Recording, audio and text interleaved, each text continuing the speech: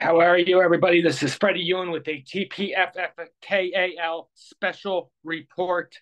Um, the news had broken out early last week that um, the owner of the Virginia Sea Dogs will no longer be competing in the TPFFKAL. If anyone knows, the owner of the uh, the GM of the Sea Dogs was the runner-up for the Pantheon Cup, and the current GM of the year, the only GM to win the GM of the year besides myself.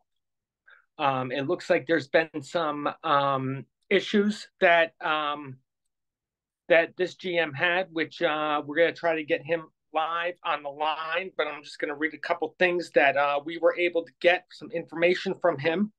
Um, he had sent me this text message. The trade back is still in effect for this season because it was allowed, but no more trade backs this year.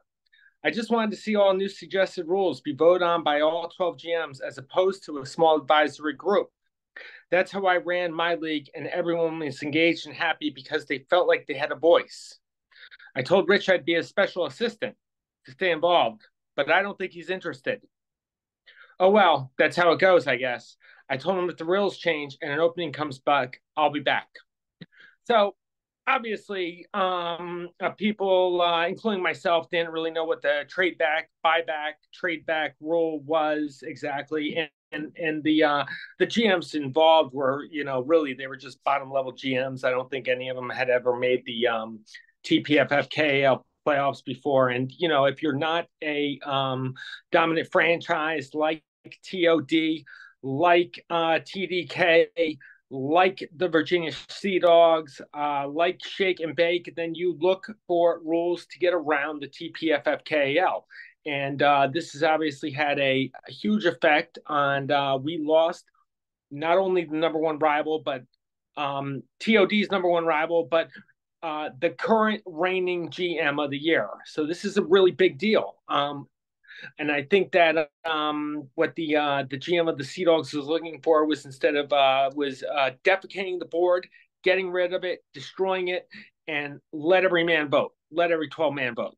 I am in. Uh, I am the commissioner for two other fantasy football leagues. Um, uh, one is a uh, redraft, uh, usually the same 12 guys every year. It's a little more expensive than this league. And the other one is a uh, fantasy league that I've had for, God, probably about 13, 14 years now. Uh, auction draft, and you can keep uh, three or four keepers. We don't get into the um, the training cap room or anything like that for the next year.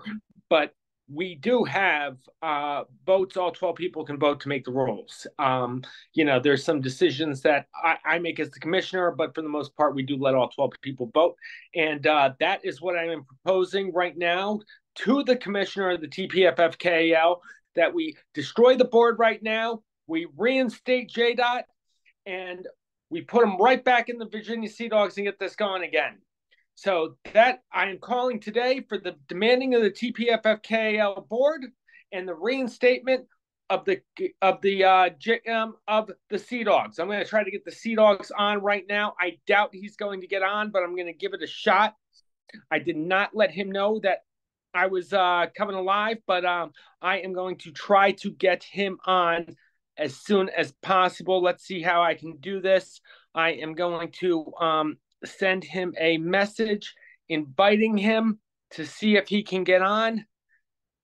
And hopefully, we'll be able to get it from the horse's mouth. I know he likes to prepare for these things before he hops on, but I'm going to send him this and see if he gets on the Zoom because we want to hear straight from the horse's mouth. But we are looking for J. Dot to be reinstated to the TPFFKL for the trade back, buyback, whatever rule to be destroyed and for any people trying to cheat the rules to be immediately suspended from the league without pay. Anyway, while we're at it, let's see if we can get into a little fantasy football today while we're at it. Some actual fantasy football instead of all the drama. All right. Um, fantasy sleepers for 2024 fantasy sleepers for 2024 football. Let's see if we can have this. Five players that I am interested in drafting because they are steals at the ADP. First guy, Travis Kelce. This guy was a top five, six pick. He's going in like uh late second round, early third round now. Um Chiefs won the Super Bowl last year. I know Mahomes didn't put up the grand numbers, but the, I mean, there's no super wide receivers coming out there anymore. Um, you know, Kelce, I think is a you know, if you can get him in the in the second round, that is a steal. That is someone that I'm going to be going for. Obviously, big steal. I don't know why his ADP dropped. He was a little bit off. He didn't. He, you know, the Chiefs were a little bit off this year until they got to the playoffs. I still think, I, you know, you know, Mahomes is without a pure number one receiver. Um, they're trying to find the next Tyreek Hill, but you know he might be on the roster, but they're not sure yet. Marquise Brown, uh, no, you know, but Travis Kelce is still going to catch a lot of footballs. He's still going to get in the end zone. I think he's a first round pick. Um, looks like most other people don't. The other person that I think is a steal, which I really I was trying to win the league last year and really kind of just traded him away as trade bait, but um, Shake and Bake's gonna, you know, Shake and Bake won that trade in the long run. Garrett Wilson, I think, is going to have a big year. Um, as long as Rodgers is healthy, uh, Breece Hall is there. They have a good defense. They have a good running game. Jets have to get it all together. If Aaron Rodgers is healthy, they're going to be good. Garrett Wilson is going to get a lot of looks. He's never had, um, you know, this guy had uh, Zach Wilson throwing him the ball for the last two years. So it's like, and, and he put up great numbers. So just wait till Aaron Rodgers is present. We said this last year before Aaron Rodgers went down with the ACL, but I think Garrett Wilson is a great, great, great gang of fantasy lines. The other guy, let's talk about quarterback who I think should be drafted in probably, you know, he should be, you know, I think this guy should be maybe the third or fourth quarterback taken.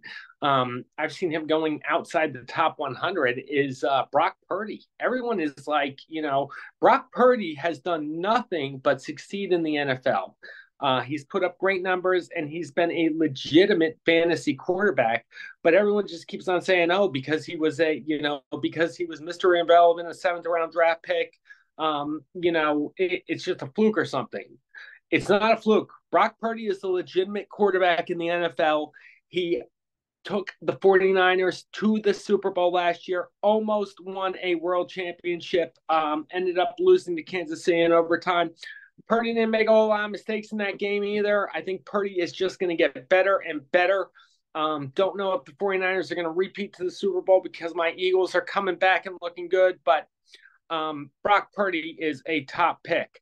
The other guy, running back, uh, Zach Moss. Zach Moss was a, a, good running back last year when he was on the Colts. He put up some numbers. Uh, Joe Mixon is is uh, Joe Mixon. I think Joe Mixon is gone, right? Didn't Joe Mixon move somewhere else? So I mean, Moss is the only Moss is the you know he's going in like rounds nine and ten. Zach Moss put up some numbers last year. He's going to be the lead back in Cincinnati. Cincinnati's going to have Burrow back. They're going to have a good offense. Moss is going to get plenty of opportunities. I would take this guy before a lot of other running backs. And then the last guy that I want to talk about, who's also going lane drafts, and I have no idea because if you're if you're drafting a quarterback, this is a redraft league, and you're drafting a rookie quarterback for one year.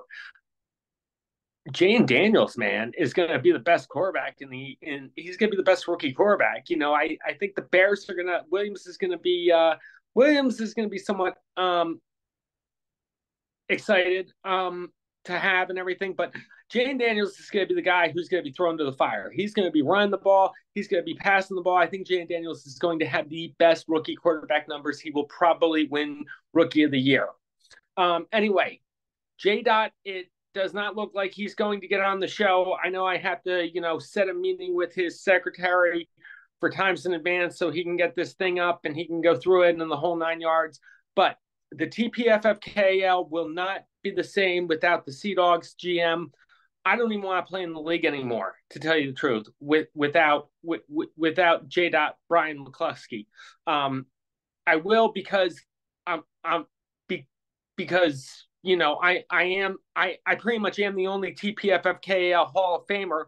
Maybe Jimmy is as well, but you know I am a first ballot TPFFKL Hall of Famer, and uh, J. Dot was on his way too. But J Dot out of the league is like um, I don't know. It's just like you, you know, it's like missing a cherry on a Sunday almost. I I don't I won't have a rival anymore.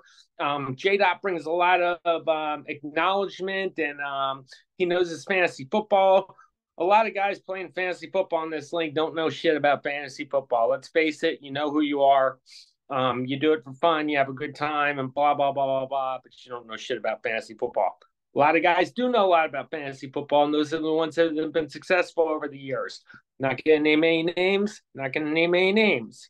But J Dot, we need you back for the TPFFKL immediately.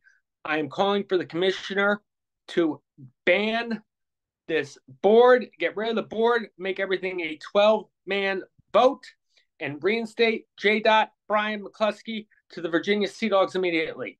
Thank you so much. Everyone, have a great day. Bye bye.